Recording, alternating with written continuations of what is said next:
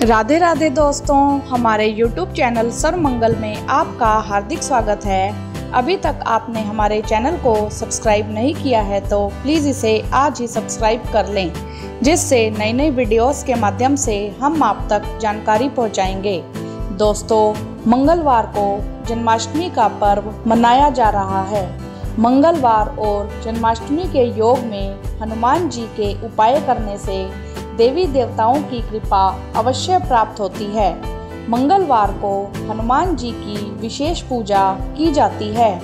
हनुमान जी श्री राम जी के परम भक्त हैं। श्री कृष्ण जी और श्री राम जी दोनों ही भगवान विष्णु जी के अवतार हैं। इसी कारण जन्माष्टमी पर हनुमान जी के उपाय करने से श्री कृष्ण जी की कृपा प्राप्त होती है। उपाय नंबर एक। हनुमान जी के सामने चौमुखा दीपक जलाएँ और इस मंत्र का 108 बार जाप करें। ओम राम दूताय नमः। ओम राम दूताय नमः। नंबर दो, जन्माष्टमी के दिन हनुमान जी के मंदिर में झंडे का दान करें।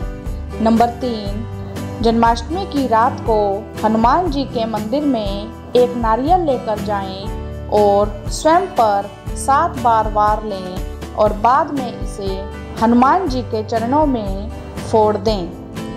नंबर चार, जन्माष्टमी के दिन हनुमान चालीसा या सुंदर कांड का पाठ करें।